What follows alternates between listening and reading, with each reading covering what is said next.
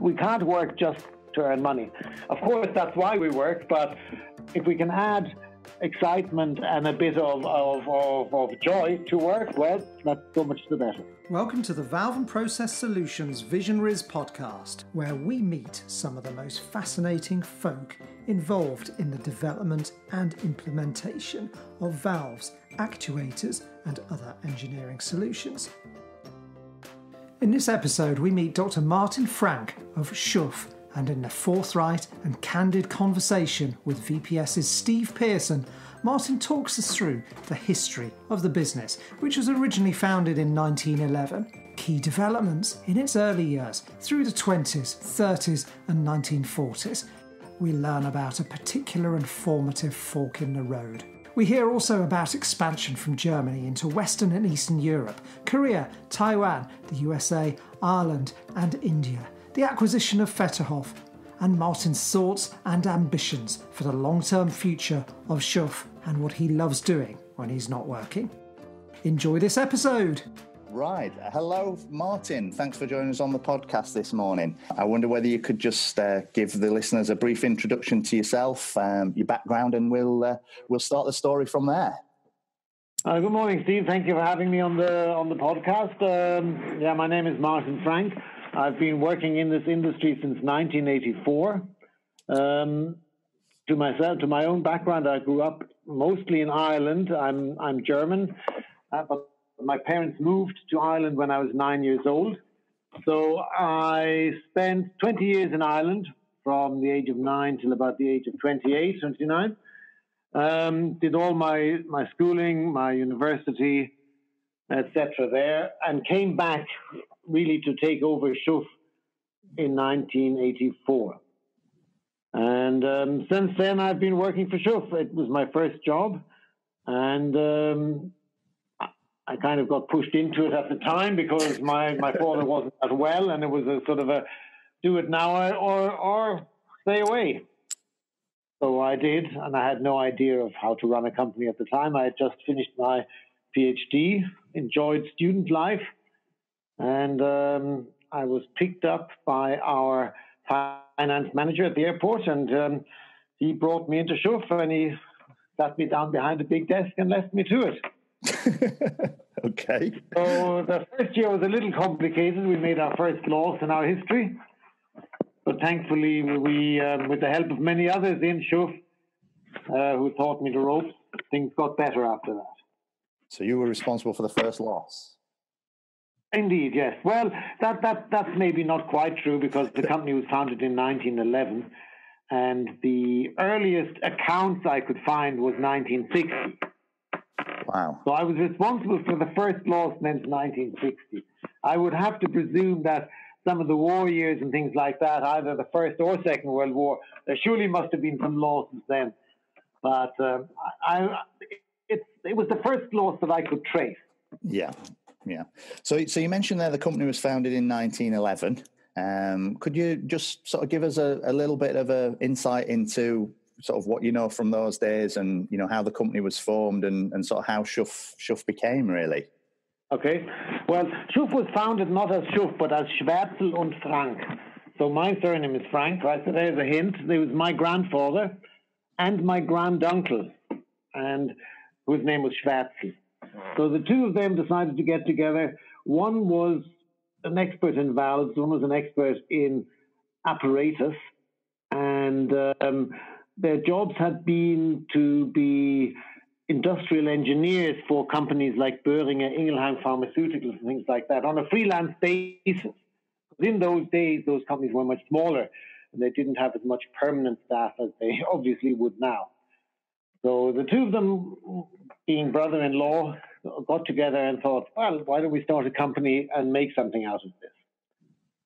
And um, the first production was started sometime in the late 1910s uh, or the early 1910s. My, my grandfather invented uh, the bottom outlet valve and the lift plug valve.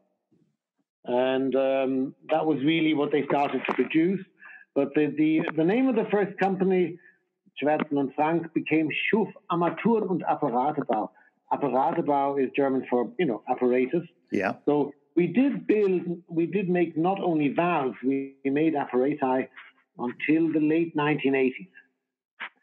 And at that stage, we had to make a decision in because you know it's it's a difference whether you make apparati, which involves welding large plates and things like that together, yeah. or if you make valves, which is more of a turning operation.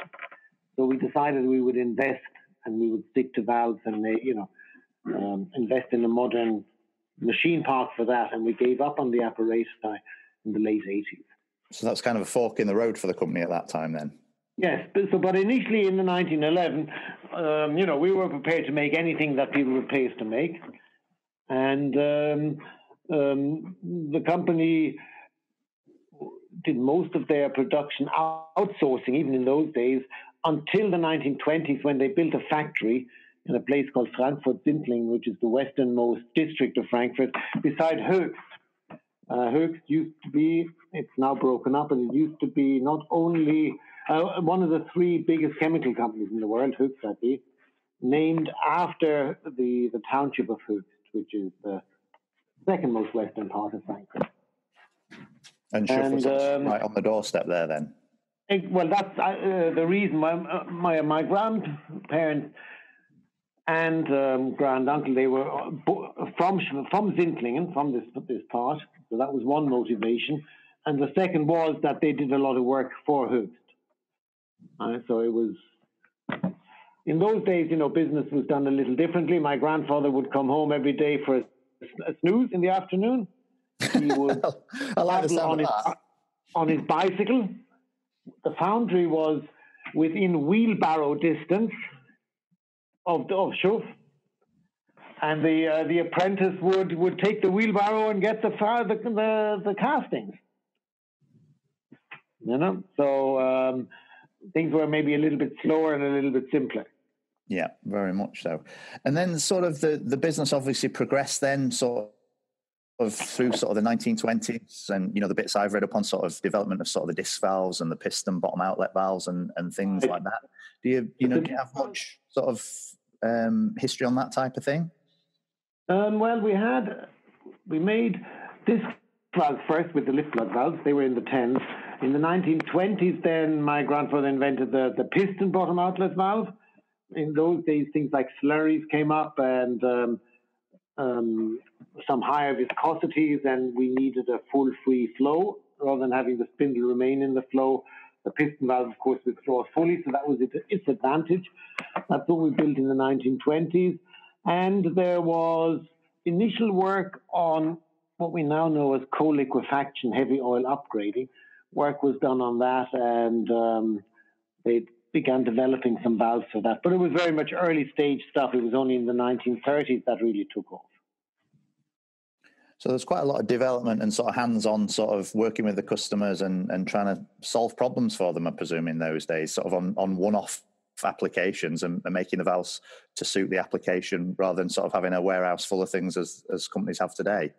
Exactly. I mean, SchuF has never been a, big stocking company, and we've always, even in those days, more specialized on problem solving, making one-offs, especially for somebody's um, uh, to solve somebody's problem, and then hoping, of course, to find that same problem in other places and solving it with the same solution. Okay. So, so that's carried on sort of through the you know the twenties, the thirties, the forties, the fifties. Um, you know, were there were there any other major developments throughout that time before you sort of came in in in sort of nineteen eighty four? Well, I mean, there was obviously the, the 1930s saw the development of this coal liquefaction stuff with uh, with valves for that. The 1940s were a tough time, obviously, because of the war, mm-hmm. and um, there was no one left. I think there were most people were drafted to fight and um, or to build plants. Yeah. And only in the 1950s things began to recover, and um, we were very lucky in that our plant had been slated for reparation shipment to Russia after the Second World War. But very luckily, my grandfather had actually helped save some people who who then got away to Florida, and they wrote a letter to the American command, and because of that, our company was saved from having to give away its machinery. Oh wow! Okay. That was a big, a big bonus, right? We didn't. We yeah. probably we may not have survived because after the war there wasn't really any money for buying new machinery. Yeah. So by having we had, although the machinery was not in great condition, at least was something to work with until things got going again, and, and then you could buy new machinery. Yeah. And um, in the fifties, obviously, most of the market was in Germany. The chemical industry had survived quite well and was doing well. And then my father really started exporting. He and his exporting, you know, just shows you the difference in aspirations at that time. He would go down to Basel, which is on the border. Swiss is a Swiss town on the border with three big pharmaceutical companies. He would go down every week for a day, and he would become the standard supplier of valves for the Basel chemical industry, and they developed a Basel norm, it was called in the 50s, um, the first attempt to standardize bottom outlet valves. And he then set his eyes on Holland, and after that on the UK. So he started exporting to the UK in the 90, early 60s. And, was, was that then sort of how the factory in Ireland came about? No, no, that, that, was, that was only 1990. Um, what happened then in 1970s, my brother Wolfgang, who was a bit older than me, started our subsidiary in England, SchuF UK, and um, which is which was a sales company. It has uh, since transformed to an actuator manufacturing company. Yeah. It was a sales company in the 70s and was very successful and um, claimed a very high market share and the British chemical industry, ICI at its forefront, was very successful and, and, and very strong and did some of the first PVC plants and things like that, which we supplied valves to in the 70s and 80s. The, the PTA, um, first uh, big PTA companies were up in Wilton by ICI. We supplied valves to those. So, um, so basically, SchuF UK was our first um, subsidiary outside of Germany. And um, my brother then decided that when I took over the company in Germany in 1984, he decided uh, uh, that he needed a change as well.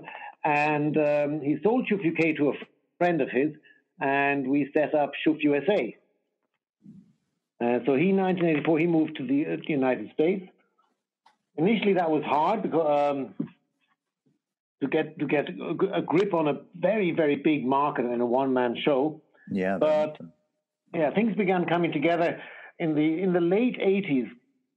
I was beginning to get a grip on the Asian markets, and he was getting a grip on the United States.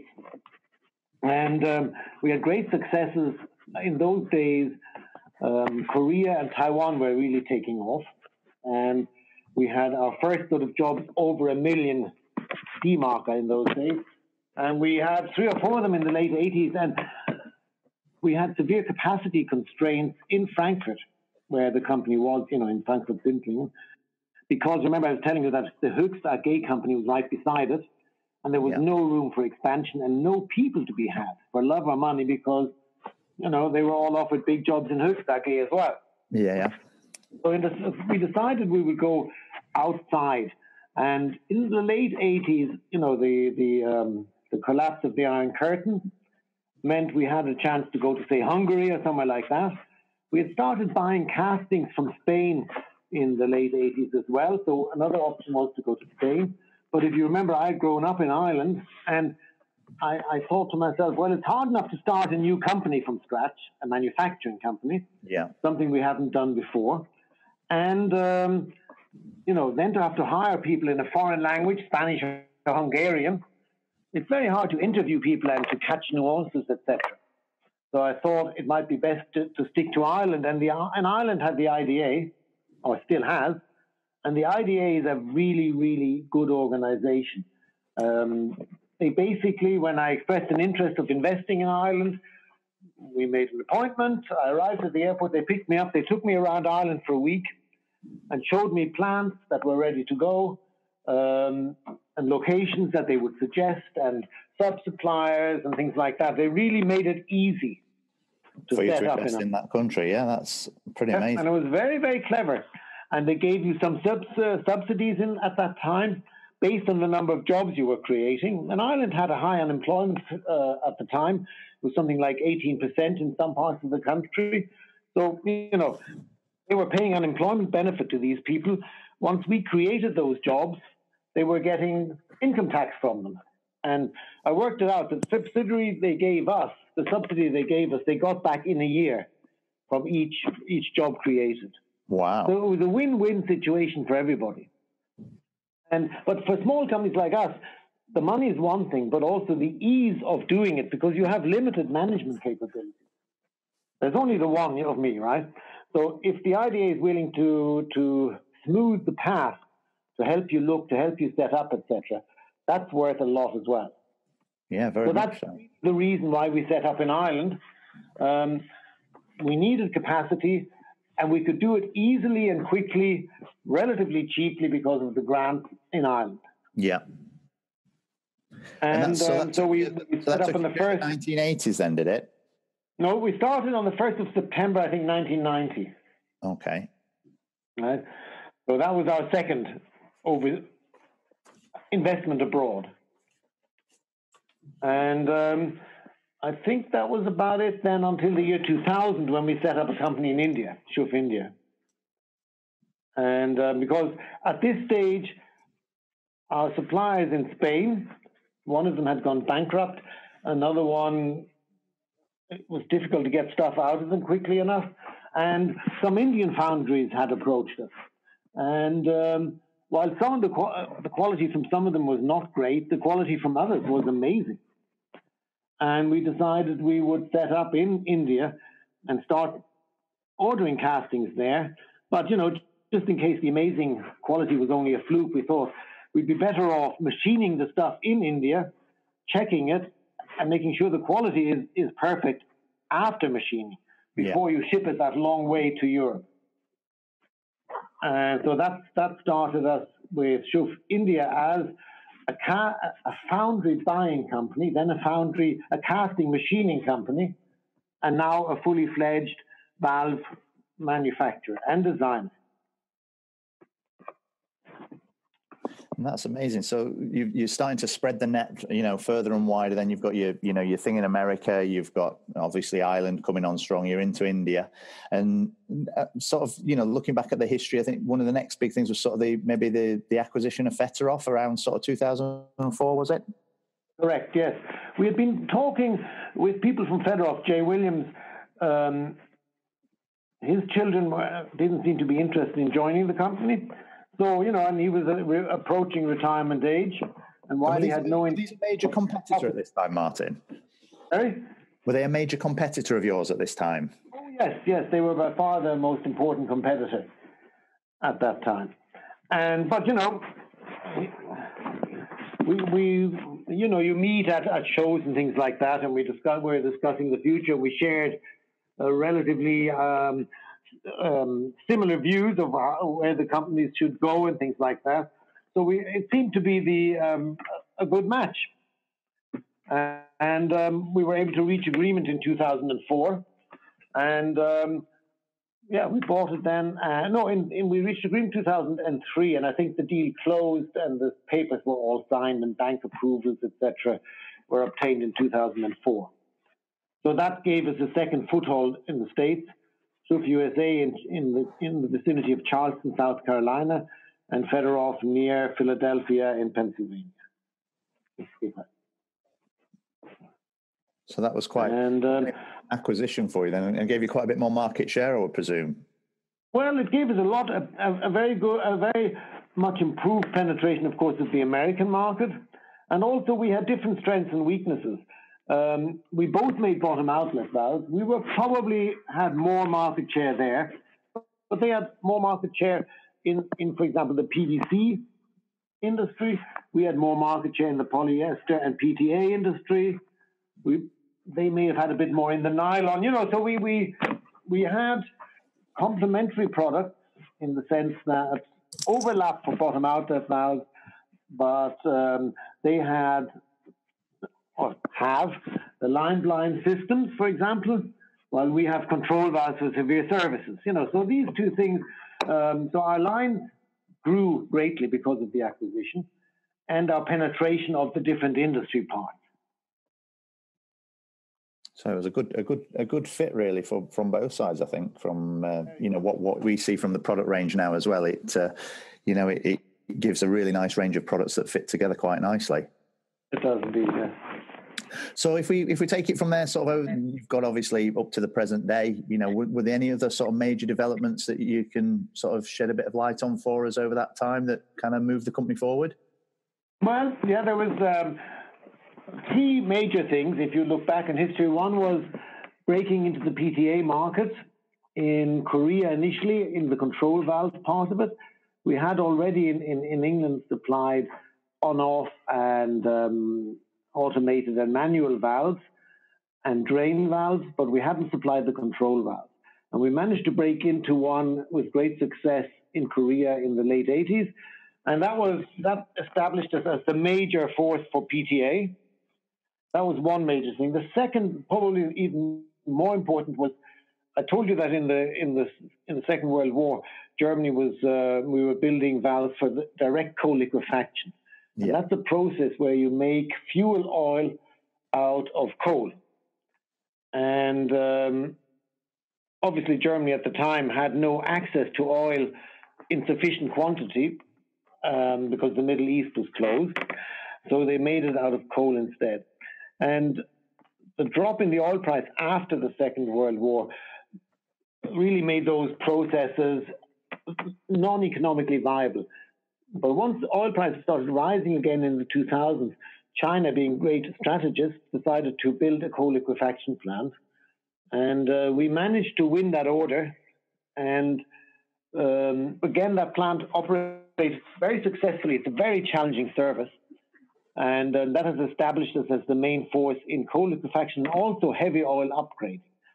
The two things are similar. One, you're both you're adding hydrogen either to heavy oils vacuum fuel residue and things like that, or to coal.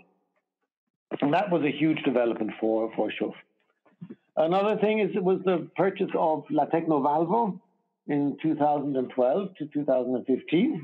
And that's an Italian company, a competitor of ours that was very strong in Italy, of course, and in process wise in PEPP manufacturing.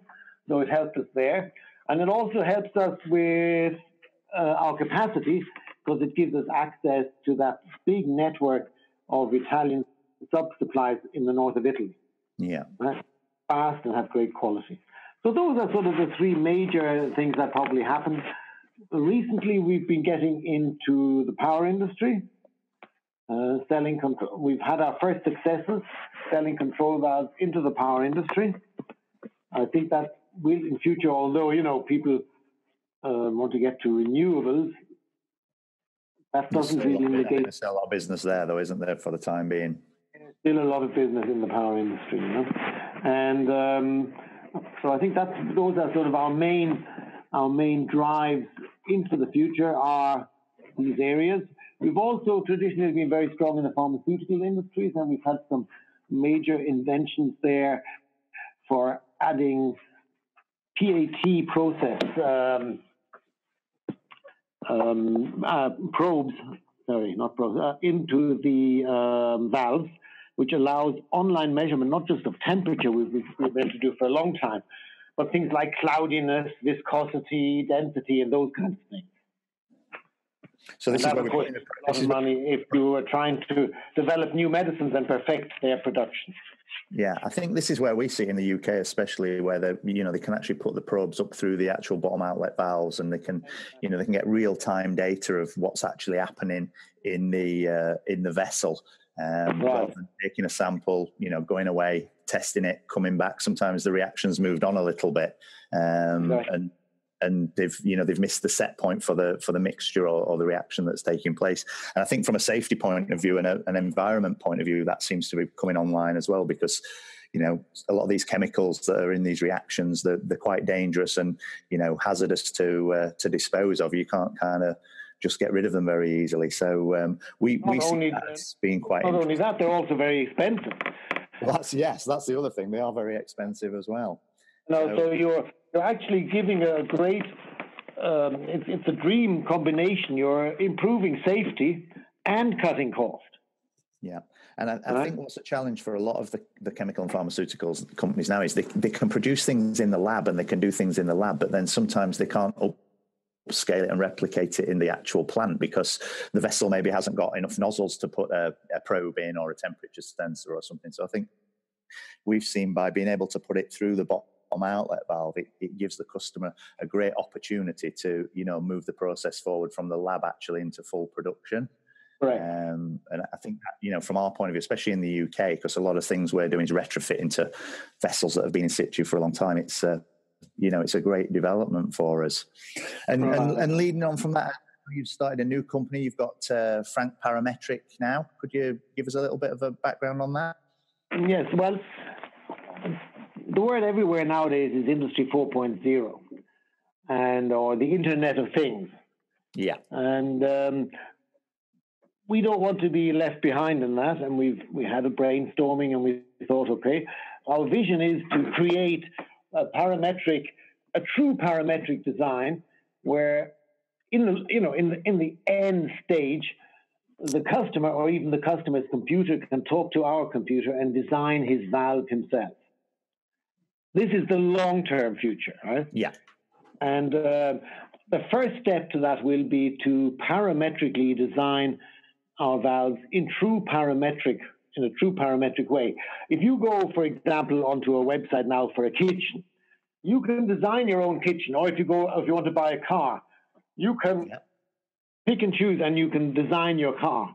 But of course, you're not really designing your car or your kitchen. What you're doing is you're picking out pre-designed items and fitting them together. Yeah. Right. They've all been completely designed.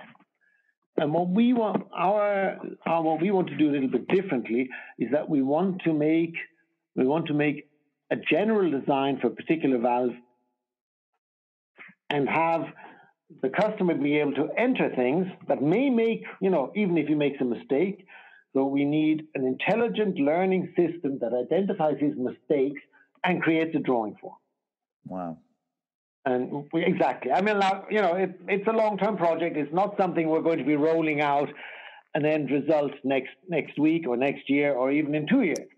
But you know, it's a, it's a five-year program that we're looking at. Yeah, but it's it's cutting. As we've decided our own a new company called Frank Parametric Design, and we hope to be able to use this process not just in SchuF, but in other valve companies or even um, other equipment companies as well.